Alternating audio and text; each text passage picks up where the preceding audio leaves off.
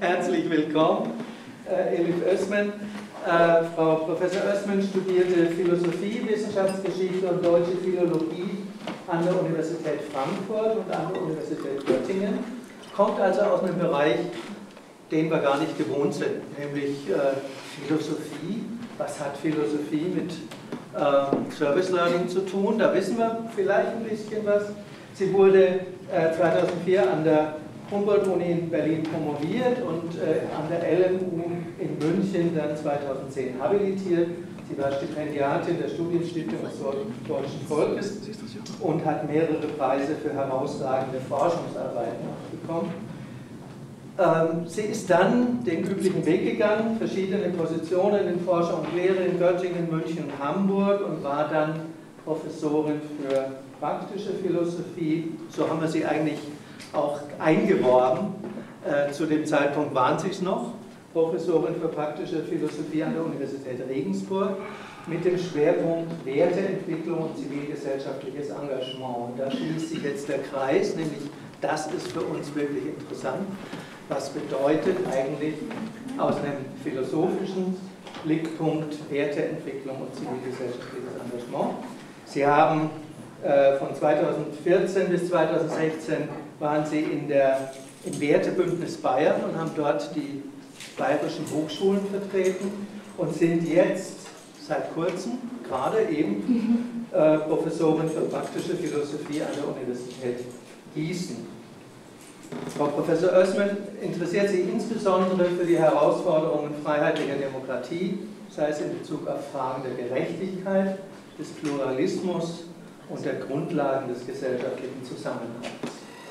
Ich bin sicher, dass Sie keinen theoretischen Vortrag machen und ich freue mich sehr auf Ihren Input zum Thema Wer oder was ist die Zivilgesellschaft. Herzlich willkommen. Meine sehr verehrten Damen und Herren, ich möchte im Folgenden versuchen, das ähm, Konzept der Zivilgesellschaft und des bürgerschaftlichen Engagements ähm, die ja auch für diese Tagung zur engagierten äh, Hochschule leitend sind, einer kritischen Reflexion äh, zu unterziehen. Und Sie werden sehen, dass auch bei meinem Vortrag am Ende äh, Ernüchterung bezüglich bestimmter Erwartungen stehen wird.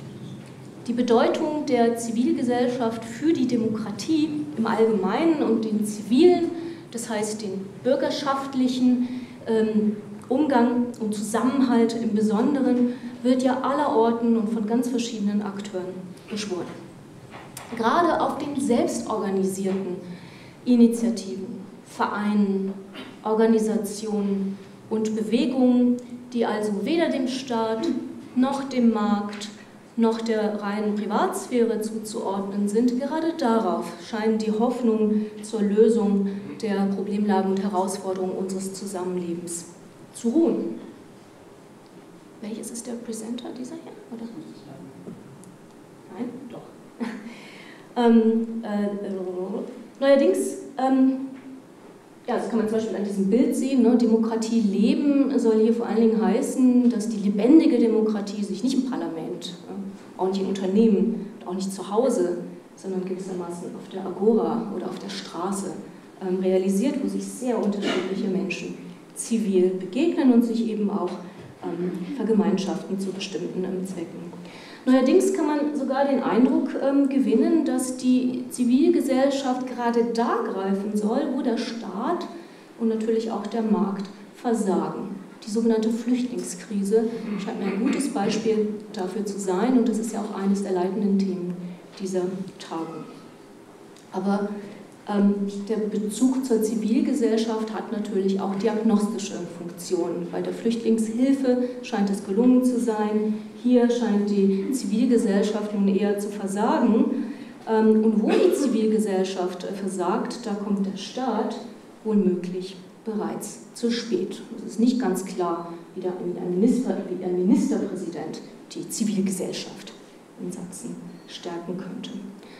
Das sind ganz wenige und tagesaktuelle Beispiele und ich hoffe, dass die bereits zeigen, dass die Zivilgesellschaft ein vielfältiges Phänomen ist, dem ich in drei Teilen, drei Schritten meines Vortrages nachgehen möchte. Ich möchte etwas über den historischen Hintergrund ähm, sagen, dann eine allgemeine Definition präsentieren und auch schon problematisieren, um dann abschließend die Erwartungen, nämlich insbesondere die normativen Erwartungen, die mit diesem Konzept der Zivilgesellschaft verknüpft werden, zu thematisieren und dann natürlich auch zur Diskussion zu stellen.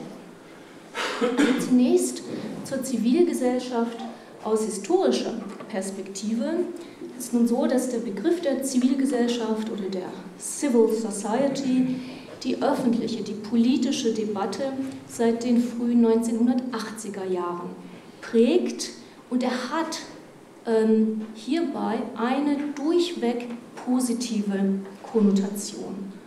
Der Bezug auf die Zivilgesellschaft spricht immer schon für sich selbst. Zivilgesellschaft gilt als etwas Gutes, zivilgesellschaftliches Engagement als förderungswürdig. Und das ist einer der Gründe, weswegen es sich in der Wissenschaft zum Beispiel, also in den Hochschulen, in diesen äh, Leitbildern ähm, findet. Ne? Auch an den Hochschulen wollen wir eben das zivilgesellschaftliche Engagement unserer Studierenden fördern. Nun, und diese positive Sichtweise auf die Zivilgesellschaft ist zunächst einmal gar nicht das Ergebnis irgendeiner Theoriedebatte innerhalb der Wissenschaft, sondern eigentlich eine ganz bemerkenswerte Reaktion der Wissenschaft, nämlich der Politikwissenschaft, der politischen Theorie und auch der politischen Philosophie auf bestimmte reale historische Erfahrungen, ähm, Ereignisse und den gesellschaftlichen Umbrüchen, die damit einhergegangen sind. Und zuvorderst ist das die Dissidenten- und Demokratiebewegung in den mittelosteuropäischen ähm, vormals sozialistischen Staaten gewesen. Hier fanden Transformationen äh, statt ähm, und die waren getragen von Akteuren, mit denen man gar nicht gerechnet hatte. Also jedenfalls die Wissenschaft hatte mit denen nicht gerechnet, nämlich staatsunabhängigen Solidar- und Kommunikationsstrukturen, die auf einmal Revolution machen. Aber auch nicht so Revolution machen, wie es sich der Marxismus oder die internationale Linke eigentlich immer vorgestellt hat. Hier haben friedliche, sogenannte samtene, legale, konstitutionelle Revolutionen stattgefunden, deren Ziel ja nicht so sehr die radikale Umkehrung der Verhältnisse, sondern ich sage mal nur die Anerkennung der Menschenrechte, insbesondere der politischen Partizipationsrechte, der freien Wahlen und der Mobilität gewesen sind, sowie auch sozusagen die Wohlfahrtserwartungen, ähm, die mit einer freien Marktwirtschaft einhergehen. Es gibt auch eine zweite Quelle für diese positiven äh, Konnotationen und das sind die sogenannten neuen sozialen Bewegungen, also das, was seit den 1970er Jahren entstanden ist, die Frauenbewegung, die Friedensbewegung, die Anti-Atomkraft- und Ökologiebewegung, natürlich auch die sogenannten Solidarität mit X-Bewegungen, also auch die Refugees Welcome-Bewegung ist so eine Solidarität mit X-Bewegung, aber auch gegenkulturelle Bewegungen, zum Beispiel Kanak Attack oder die Homosexuellen- und LGBT-Bewegung. Hier geht es zum einen um die sozusagen ökologischen Folgen unserer technisierten und wachstumsfixierten Lebensweise und zum anderen, das ist vielleicht noch interessanter, um Lebensstil, um Selbstbestimmung und Verwirklichung, eigentlich um Identität. Und die dritte Quelle hat etwas mit Globalisierung zu tun und der Idee von Weltproblemen, einer Weltöffentlichkeit und daher ganz folgerichtig auch einer internationalen Zivilgesellschaft. Und gemeint sind damit bestimmte Nichtregierungsorganisationen, zum Beispiel Greenpeace oder Amnesty International, denen eben eine Schlüsselrolle ähm, bei Demokratisierungsprozessen oder der Legitimierung von bestimmten politischen Handlungsfeldern zugesprochen wird und die deswegen auch zum Beispiel bei UNO-Konferenzen oder durch die, Europäische, äh, äh, durch die Europäische Kommission jedenfalls bei bestimmten Themen regelmäßig konsultiert werden und auch konsultiert werden müssen. Hierunter fallen aber auch Gegenbewegungen zu global, äh, äh, zu global agierenden Akteuren wie dem IWF oder der EZB, den G7-Gipfel, äh, TTIP, CETA. Es gibt eben auch neueste soziale Bewegungen wie Attack, Occupy, Anonymous, die sich selbst als Sprecher der globalen Zivilgesellschaft verstehen.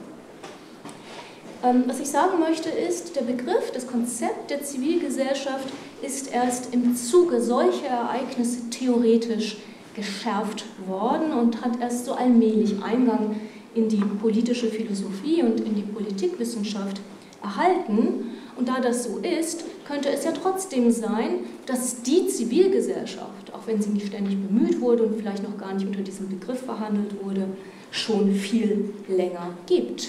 Man könnte ja fragen, seit wann gibt es die Zivilgesellschaft? Und da gibt es eben manche, wenn man so die Literatur sichtet, die sagen, schon immer.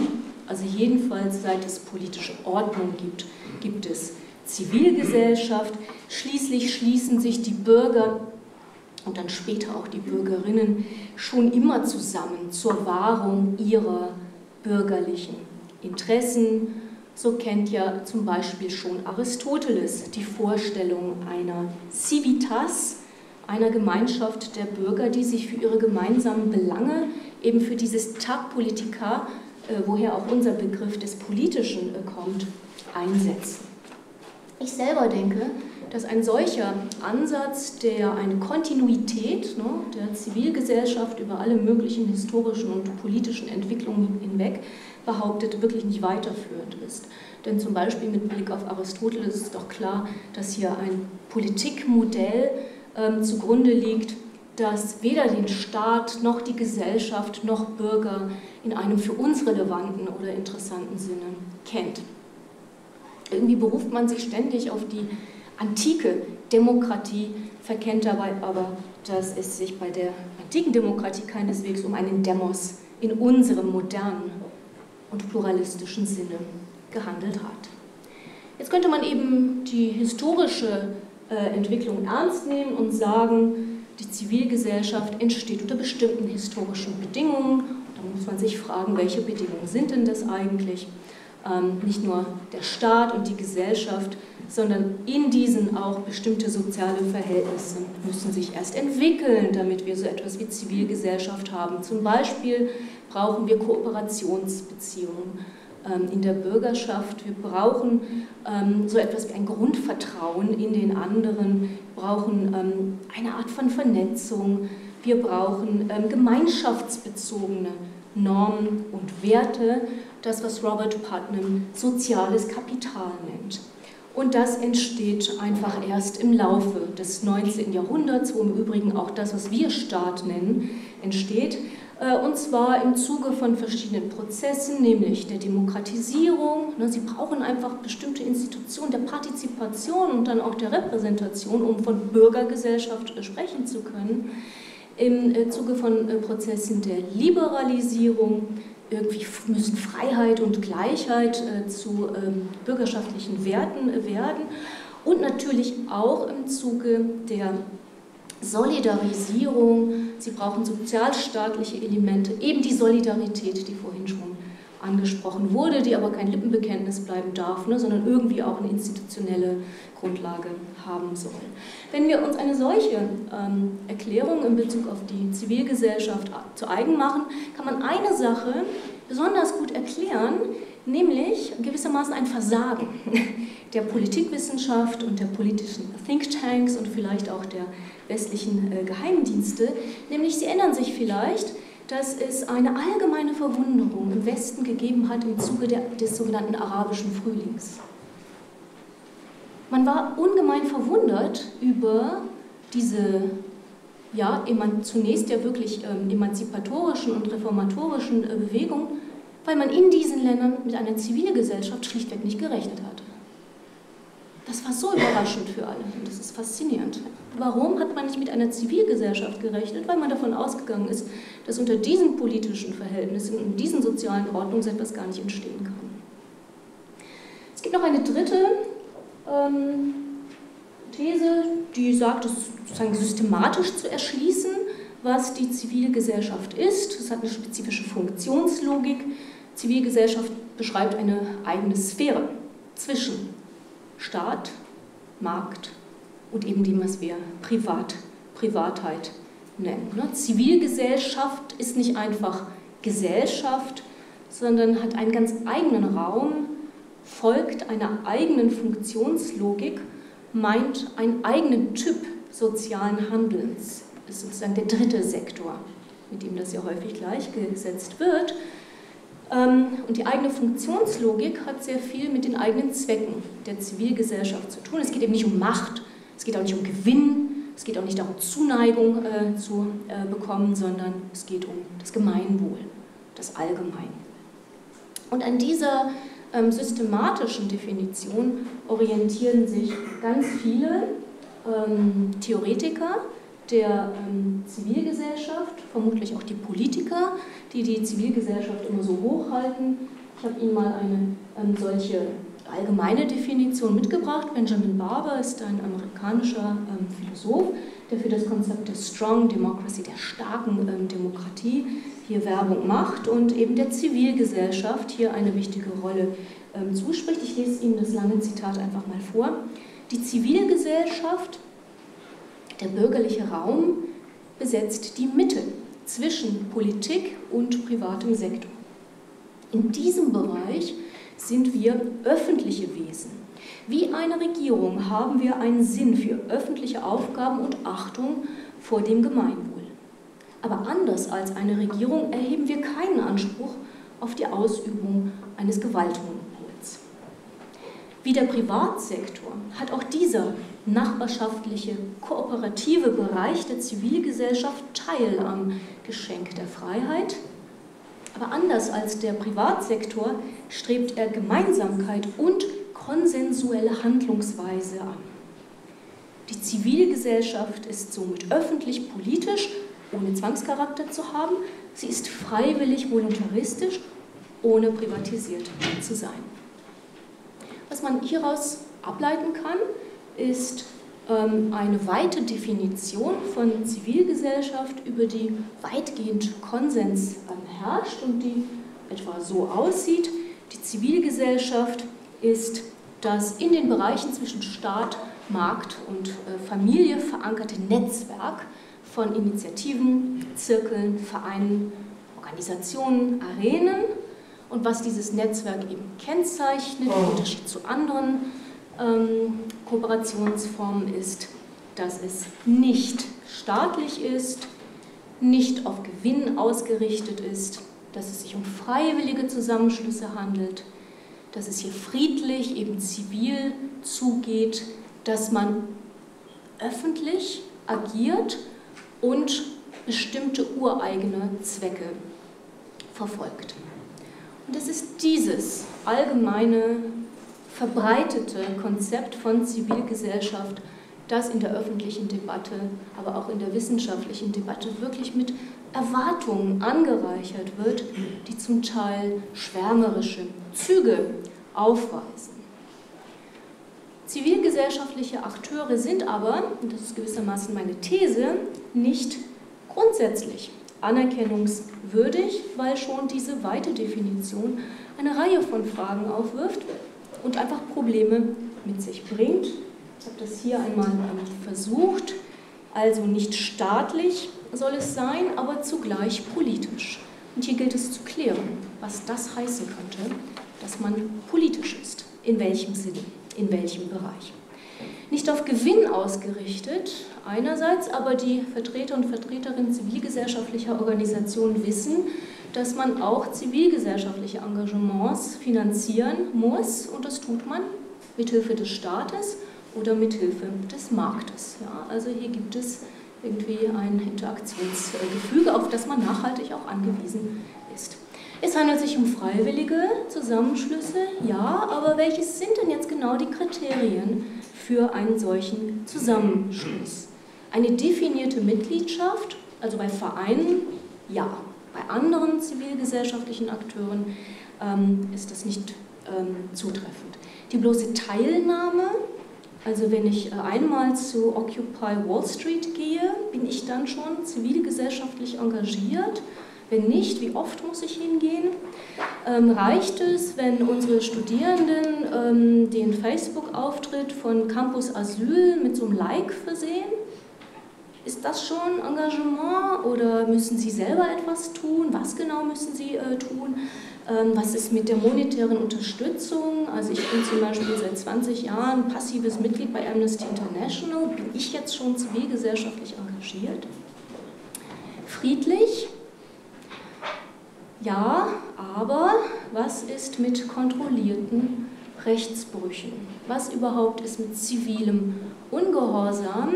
Da die Zivilgesellschaft auch als ein Korrektiv für bestimmte demokratische Herausforderungen begriffen wird, kann sie eigentlich nur dann auf sich aufmerksam machen, wenn sie auch eine gewisse Sichtbarkeit hat und die geht dann vielleicht über das bloße Demonstrieren oder einen Facebook-Auftritt irgendwie hinaus.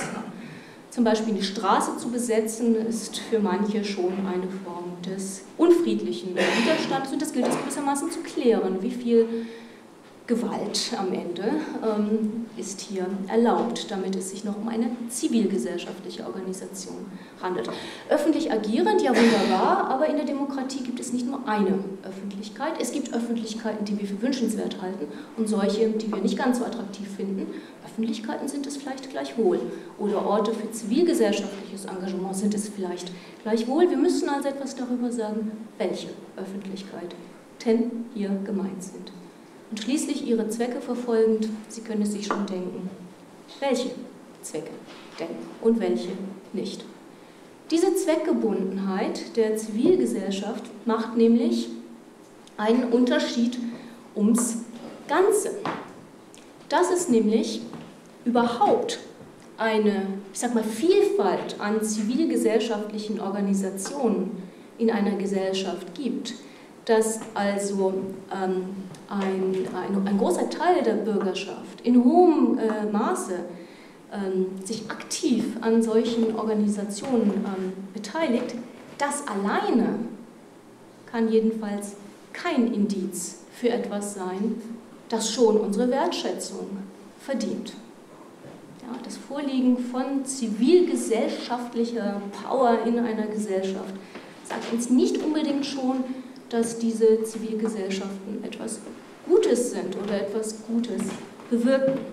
Ein gut untersuchtes Beispiel für diese These ist die Weimarer Republik. Da gab es eine große Anzahl freiwilliger Vereinigungen und Organisationsformen.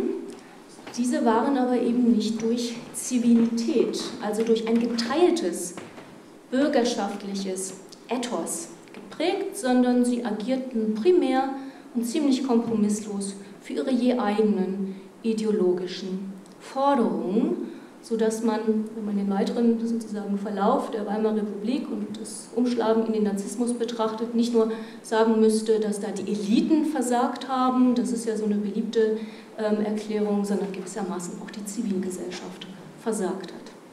Ein anderes aktuelles Beispiel nicht wenige islamistische Organisationen, zum Beispiel im Nahen Osten, betreiben Krankenhäuser, Schulen, Jugendprojekte, überhaupt soziale Hilfsprojekte und sie erfreuen sich gerade deswegen einer großen Zustimmung durch die Bevölkerung. Auch wenn das nicht in unsere übliche und vielleicht gewünschte Sichtweise passt, moderate Islamisten sind jedenfalls zu einem Teil Reformakteure in diesen Ländern. Zugleich haben sie ja klare und gemeinschaftsstiftende Werte, die verfolgt werden, die aktiv verfolgt werden. Aber zugleich verfolgt zum Beispiel die Hamas, die manche für die größte zivilgesellschaftliche Organisation in diesem ähm, Raum halten, ja nicht nur humanitäre, aber oh, das tut sie auch, verfolgen auch humanitäre Zwecke, sondern auch zum Beispiel gegen israelische Zivilisten und Soldaten gerichtete militärische, nach Auffassung der UNO und der EU terroristische Ziele. Und ich denke, es sind nicht nur diese unfriedlichen Mittel, ne, die die Hamas wählt, sondern bestimmte Zwecke, die mit diesen Mitteln realisiert werden wollen, die es irgendwie falsch erscheinen lassen, die Hamas als eine zivilgesellschaftliche Organisation anzuerkennen. Und trotzdem möchte ich darauf hinweisen, dass sie ihrem Selbstbild gemäß das anders sieht. Wir müssen uns also fragen, welche Akteure wir meinen, wenn wir so positiv von der Zivilgesellschaft sprechen, beziehungsweise welche Zwecke welche Werte, welche Engagements für was denn genau die entsprechenden Gruppierungen eigentlich erfüllen sollen. Und damit gehen wir eben über so eine allgemeine Beschreibung, Definition hinaus und sprechen über bestimmte Werte und bestimmte Normen. Die Zivilgesellschaft ist eine Art Hybrid aus deskriptiven Bedeutungsebenen und normativen Bedeutungsebenen und das geht häufig genug verloren, ne, dieses hybride Moment und das ist wahrscheinlich ein Grund für die Attraktivität ähm, dieses Konzeptes. Also, zum letzten Teil Zivilgesellschaft als Buch. Was ist jetzt passiert? Die, die Folien verloren gegangen. Sollen wir sie kurz reparieren? Nein, nein, wir machen das jetzt. Ohne, gut. Steht eh nicht so viel drauf. Ähm, genau, ähm, in, der, in der politischen ähm, Philosophie und in der Politikwissenschaft, insbesondere hier in der Demokratietheorie, wird die Zivilgesellschaft als eine Ressource von Problemen betrachtet, und zwar ganz spezifischen politischen Problemen, mit denen gerechnet werden muss, und zwar in der repräsentativen, liberalen und pluralistischen Demokratie. Ja, für diese Probleme soll die Zivilgesellschaft eine Lösung bieten.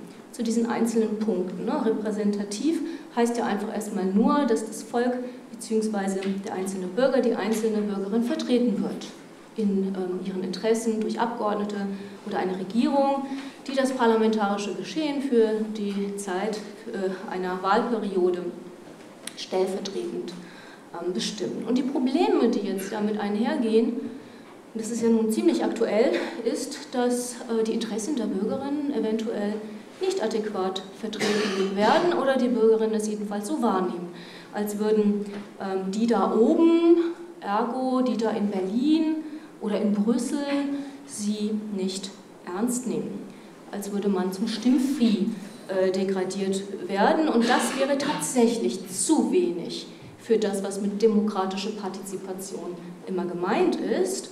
Und hier würden dann Motivationsverluste oder die Politikverdrossenheit ähm, drohen. Das wäre ein spezifisches Problem der repräsentativen Demokratie. Nun zum Liberalismus oder zur Freiheitlichkeit. Ähm, für die liberale Demokratie ist das Verhältnis von Staat und Öffentlichkeit einerseits und dem Einzelnen, ähm, dem Privaten ziemlich trennscharf hm, bestimmt. Und ich würde sagen, erstmal aus ganz guten Gründen. Der Staat soll sich nicht einmischen in unsere individuelle Lebensführung. Der Einzelne verfolgt seine privaten Interessen. Als Bürger oder als Bürgerin ist er zu Rechtsgehorsam verpflichtet.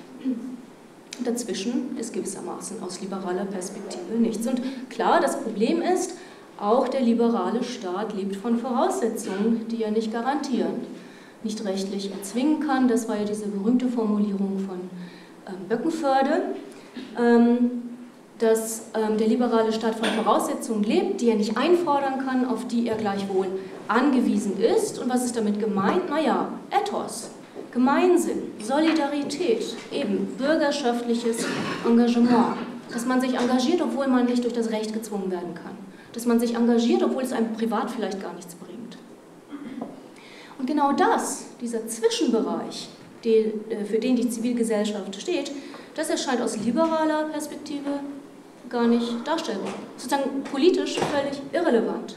Das ist ein privates Vergnügen. Manche sammeln Briefmarken, andere engagieren sich für Flüchtlinge. Und das ist gewissermaßen auf derselben, nämlich irgendwie privaten Ebene. Das ist das Problem der liberalen Gesellschaft. Ähm, und ähm, zum Pluralismus, damit sind einfach heterogene Gesellschaften gemeint, in denen es eine Vielfalt von Identitäten, Lebensplänen, Religionen, Weltanschauungen gibt. Und das Problem liegt auf der Hand. Wir haben gesellschaftlich mit Konflikten zu rechnen, die der Staat nicht steuern kann, vielleicht auch gar nicht darf oder auch nicht will.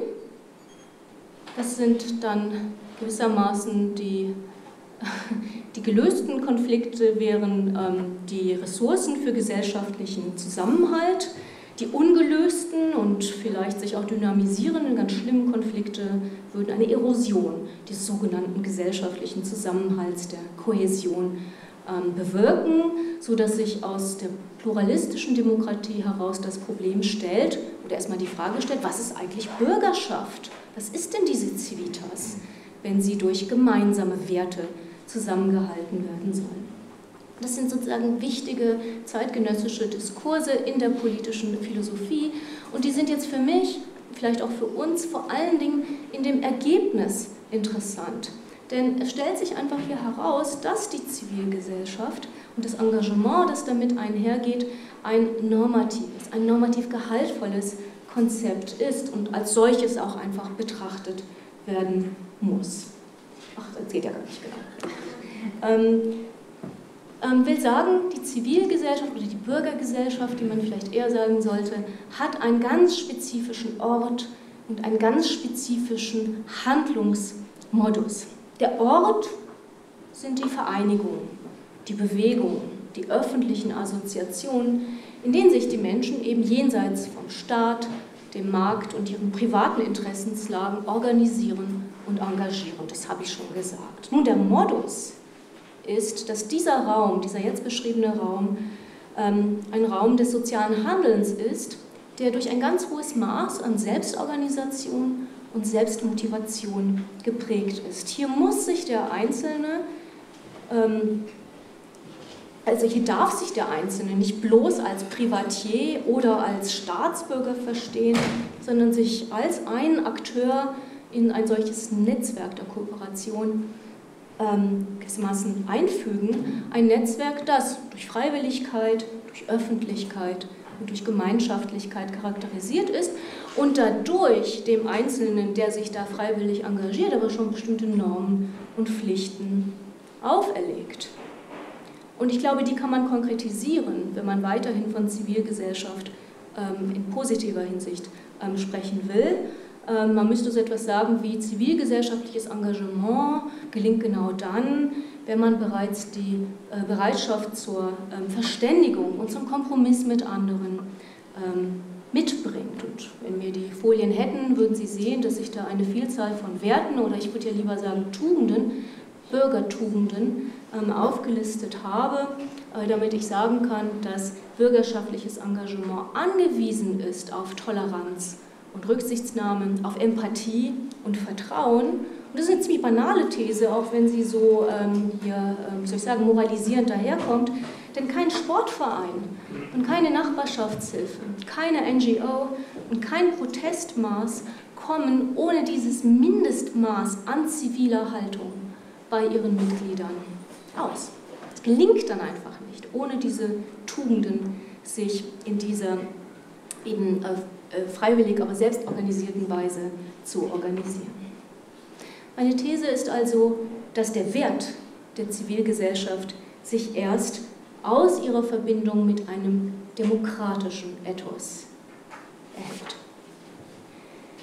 Wenn man das so sagt, dann kann man den Staat, aber auch der Zivilgesellschaft nicht mehr gegenüberstellen. Der Staat erweist sich als Verbündeter der Bürgergesellschaft, insofern er zum Beispiel die Bestandsvoraussetzungen der Zivilgesellschaften sichern muss. Dadurch, dass er die Akteure anerkennt, aber natürlich auch aktiviert, finanziert ähm, oder auch ähm, bestimmte einfach, keine Ahnung, Steuergesetze, Vereinsgesetze, ähm, Entscheidungskompetenzen der Stadtteilentwicklung ähm, zu, ähm, äh, zu, zugesteht, bestimmte Konsultationen der Bürgergesellschaft ähm, vornimmt, natürlich auch bestimmte Programme an Schulen und an Hochschulen unterstützt. Erst mit einer solchen normativen Analyse kann man verstehen, dass eine bestimmte Zivilgesellschaft, das heißt bestimmte Organisationen, bestimmte Handlungsfelder als gut, als wertvoll, als förderungswürdig betrachtet werden.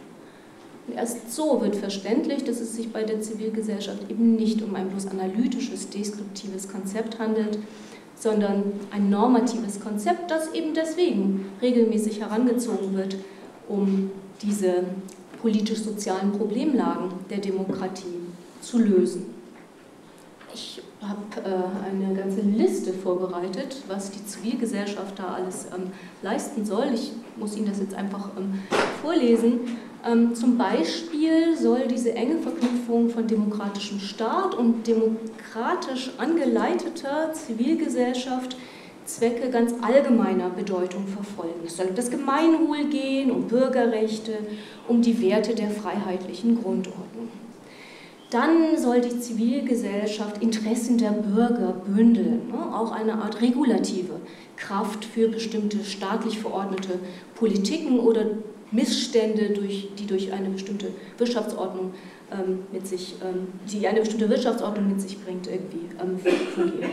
Und es soll alternative Formen der Partizipation an politischen Prozessen bieten. Ne? Mehr Demokratie durch mehr Zivilgesellschaft. Es soll Öffentlichkeit schaffen, vielleicht auch Gegenöffentlichkeit schaffen. Mehr Legitimität ist hier das Motto. Dann soll natürlich die Eigenverantwortung der Bürgerin gestärkt werden, alternativ der Studierenden. Hier geht es um eben das bürgerschaftliche Ethos. Deswegen muss man auch Bürgertugenden oder Werte, wie mein Vorredner gesagt hat, stärken. Verantwortung, Toleranz, Solidarität. Natürlich geht es auch darum, dass durch ein solches Engagement gehofft wird, dass uns Integration, soziale und politische Integration gelingt, gewissermaßen das Böckenförderproblem gelöst werden kann, insofern sich soziale Bande entwickeln und äh, sozusagen stärkt ist und, und, und, und gestärkt werden. Ich fasse einfach mal zusammen und dann können wir auch in die Diskussion gehen. Es scheint mir ganz zutreffend zu sein, dass ohne eine lebendige und engagierte Zivilgesellschaft kein Staat zu machen ist, jedenfalls keine prosperierende Demokratie.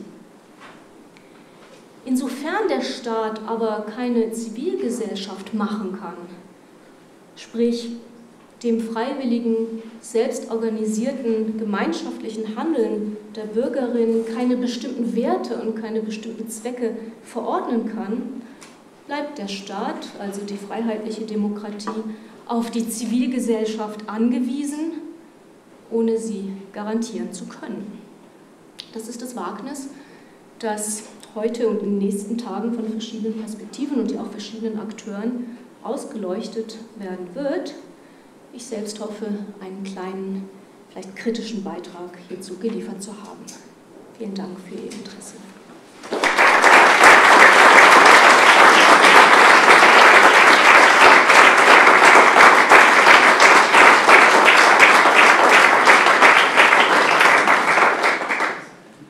Vielen Dank, Frau Kollegin Oesmen, und äh, vielen Dank auch nochmal, dass Sie mit den Fairnessen der technischen äh, Ausstattung so äh, souverän umgegangen sind.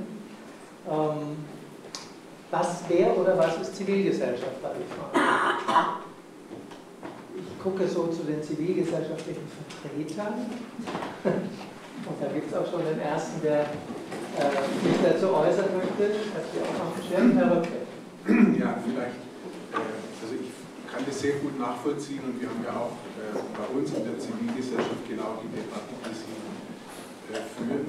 Äh, ich möchte vielleicht von erst zwei ganz empirischen Ausgangspunkten ausgehen. Also einerseits Flüchtlingskrise Zormeting, ein schwarzer Pfarrer, der gemobbt wird. Plötzlich steht sozusagen eine ganze Zivilgesellschaft auf, die davor überhaupt nicht sichtbar war.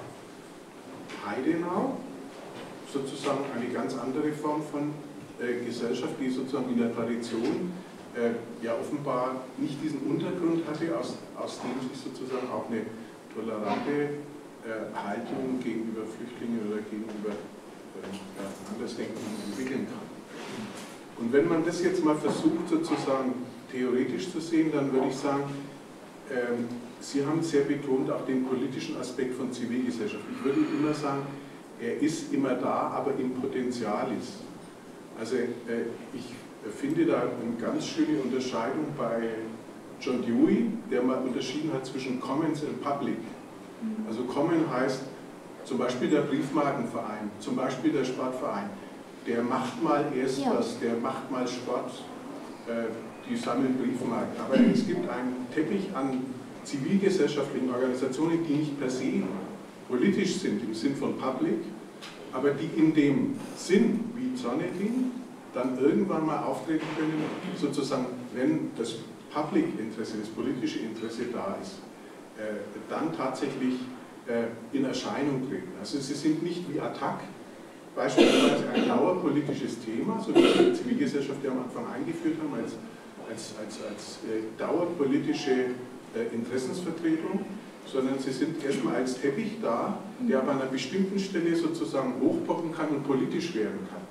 Also ich glaube, das ist so der Raum, der so zwischen dem einerseits gemeinwohlorientierten und dem, was Habermas so deliberative Demokratie äh, genannt hat, so dazwischen changiert.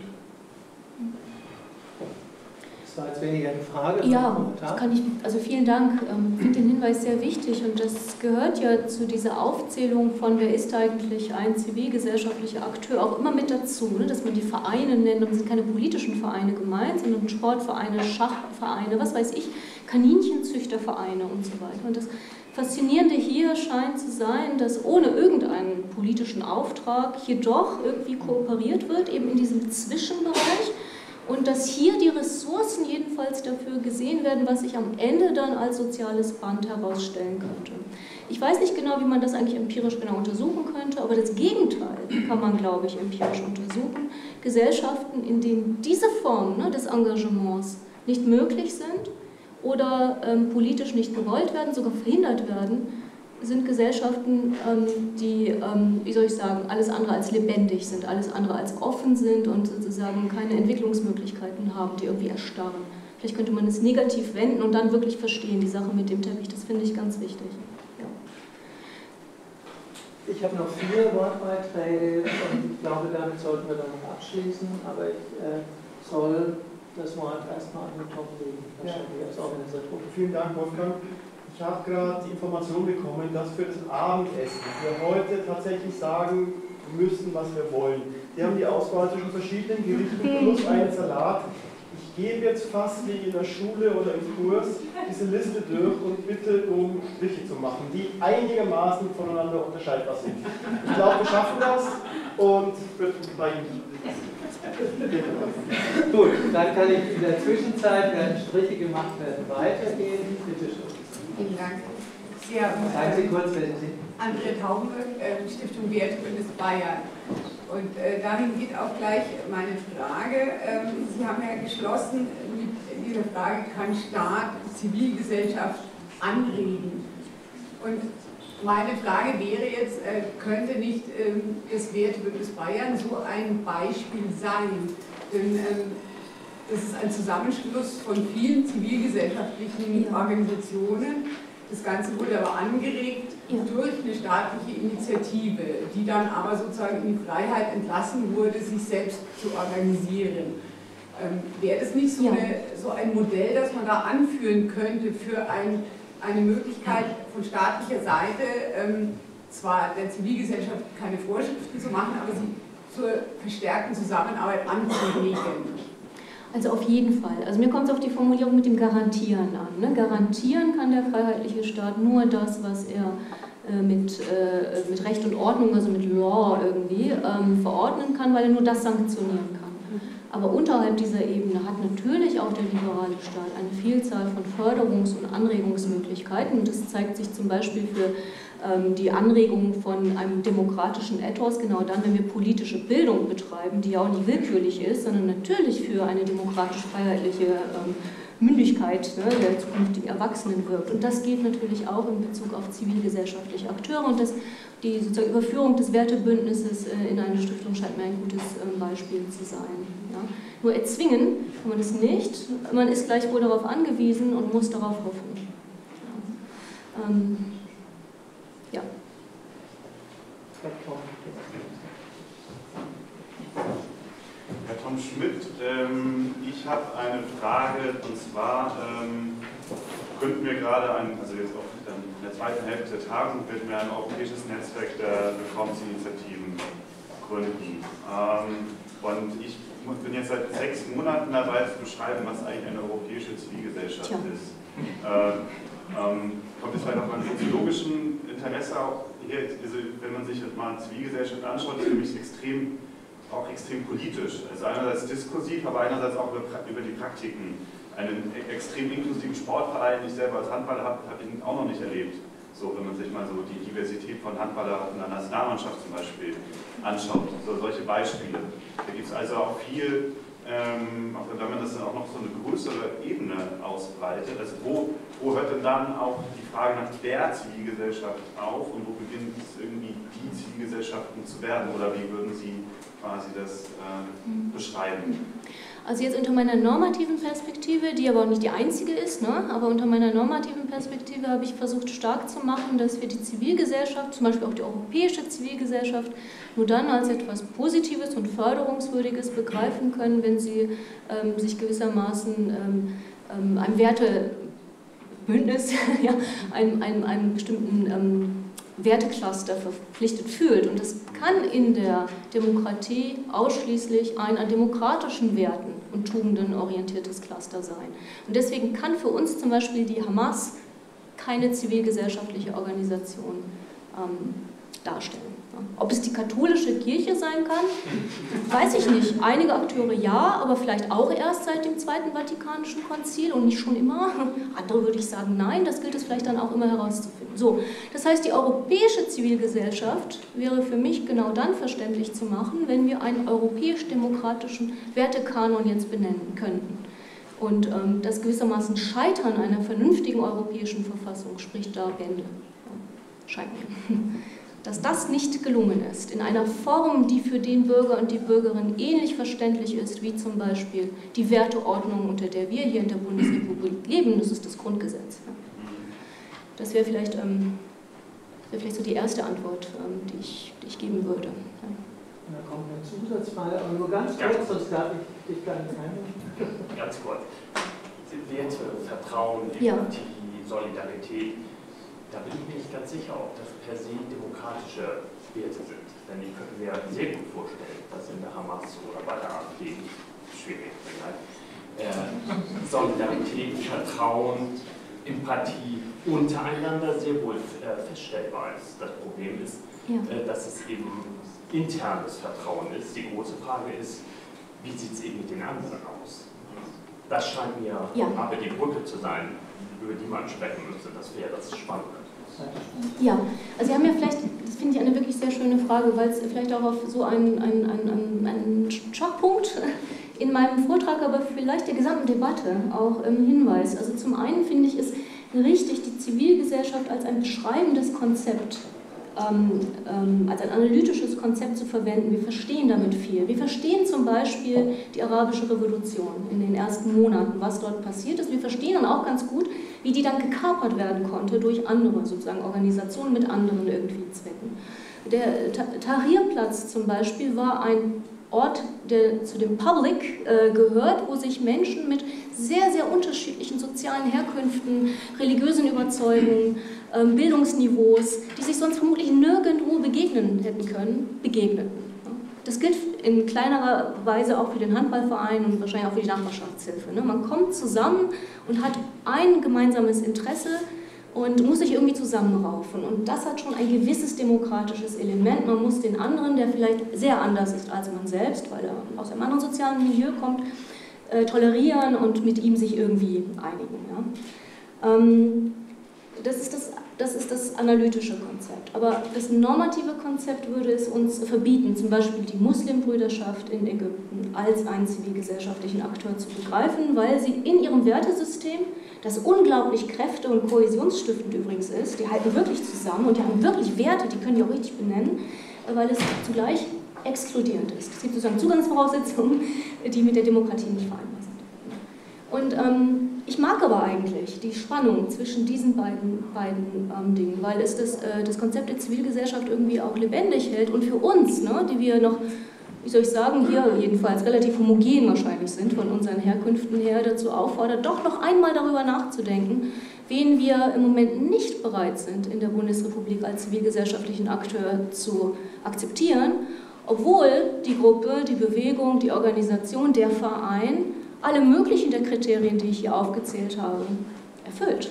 Was hindert uns daran, die zu akzeptieren? Wenn wir mal mit dem, Grund, dem Grundgesetz kommen, aber also, also in dieser Spannung oder in diesem Manko vielleicht auch meines Vortrages würde ich Sie gerne in die Kaffeepause.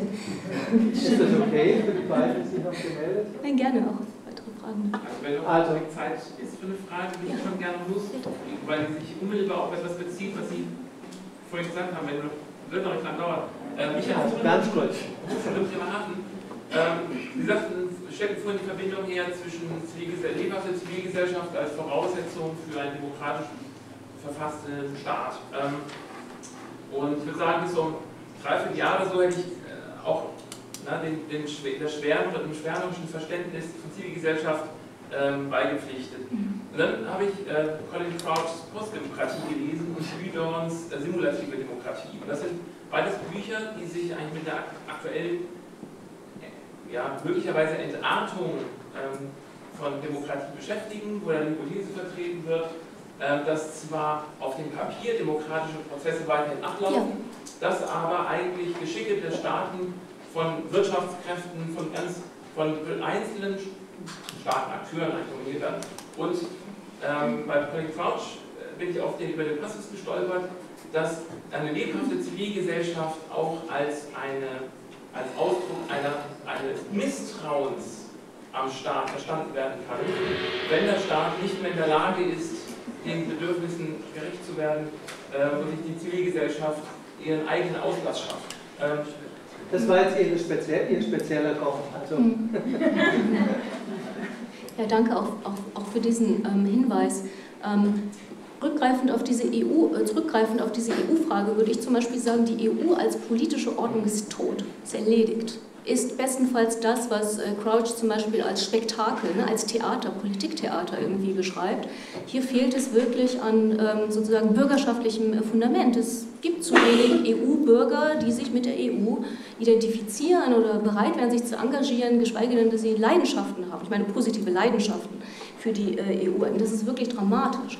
Ob es nicht unabhängig davon dennoch eine europäische Zivilgesellschaft gibt. Das wäre jetzt wirklich herauszufinden. Und wenn das so ist, dann kann es offenbar Zivilgesellschaft geben ohne, ein, ohne eine lebendige ähm, Demokratie. Das wäre ähm, interessant. Ich glaube nur, dass das zum Beispiel zunächst in Ägypten der Fall gewesen ist. Das ist auf jeden Fall der Fall gewesen in bestimmten osteuropäischen Ländern in den 80er Jahren. Also auch genau das passiert. Der Staat war gewissermaßen tot und erledigt und gab irgendwie Akteure, ne, die irgendwie gemeinsame Werte hatten.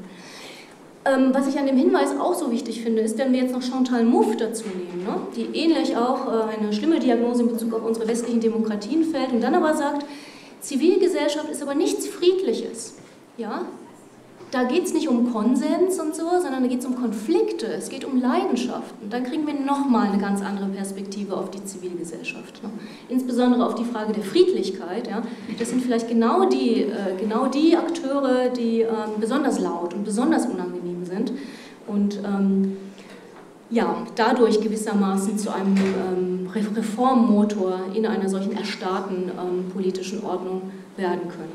Inwiefern man die dann aber noch auf die Demokratie, die Demokratie verpflichten kann, inwiefern sie bestimmen können, über Demokratie hinauszugehen, alternative Formen der politischen Ordnung oder der Wirtschaft vorzuschlagen, das ist eine Frage, die wer beantworten soll? Die Zivilgesellschaft selbst, der Sieger der Geschichte? Jedenfalls nicht, jedenfalls nicht die politische Philosophie. Vielen Dank.